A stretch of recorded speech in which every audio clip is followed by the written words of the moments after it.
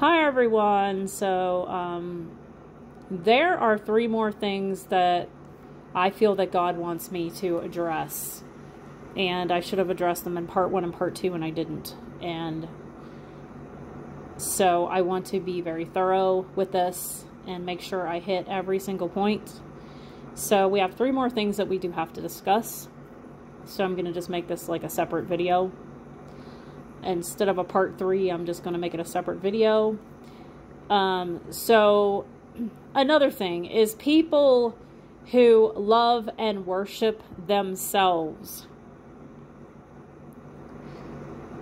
They admire themselves. Um, now, there's nothing wrong with appreciating what God has given to you personally, and there's nothing wrong with looking in the mirror and saying you like what you see.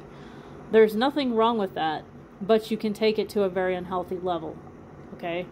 There's nothing wrong with um, liking a certain hairstyle, you know, liking to wear a certain amount of makeup, you know, uh, to a point, uh, liking jewelry, liking certain clothes or shoes. There's really nothing wrong with that. However, uh, there are people out there who love themselves, they worship themselves, and they admire themselves, just like Satan did. Satan loved himself, he worshiped himself, and he admired himself. And it was to the sin of pride and vanity.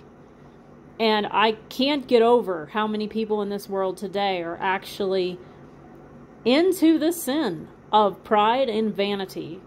And they absolutely love, worship, and admire themselves.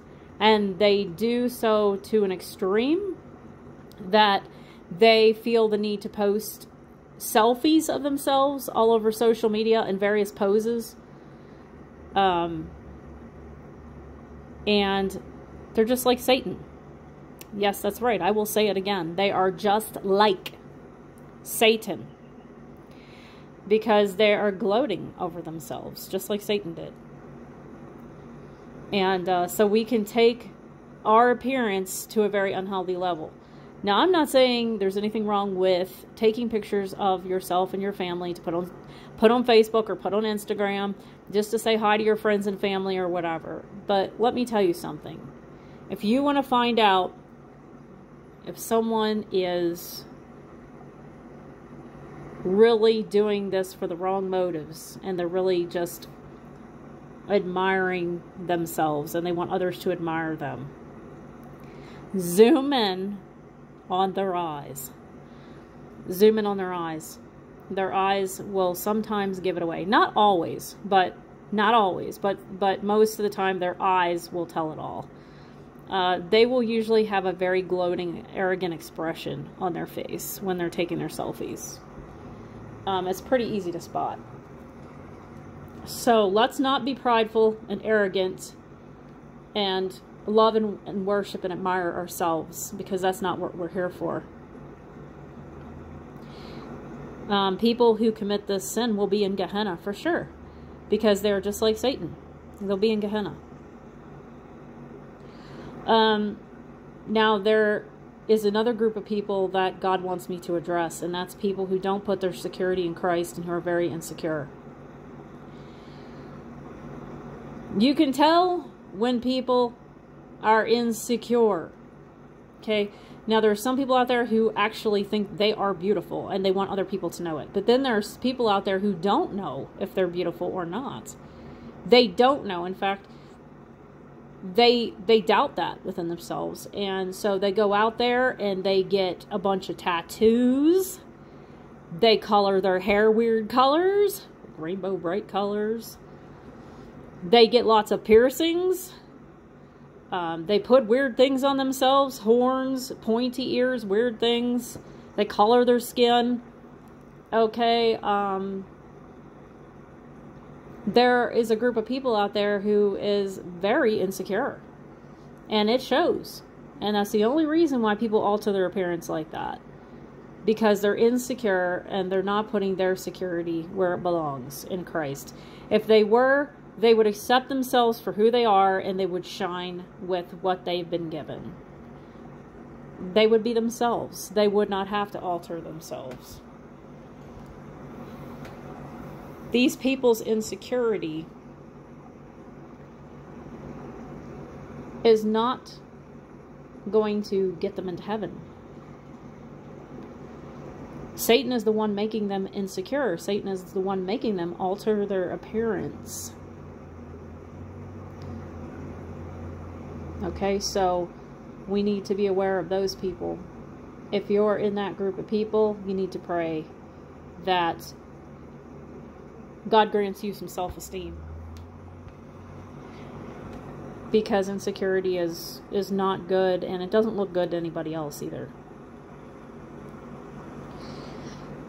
So the last thing I want to talk about on this video, because it's kind of short, and I want to lengthen it a little bit because there is one more thing that I want to talk about on this video.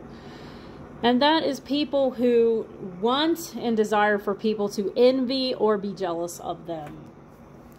Now, this also comes from a place of insecurity, okay? These people who are flaunting their lives are insecure.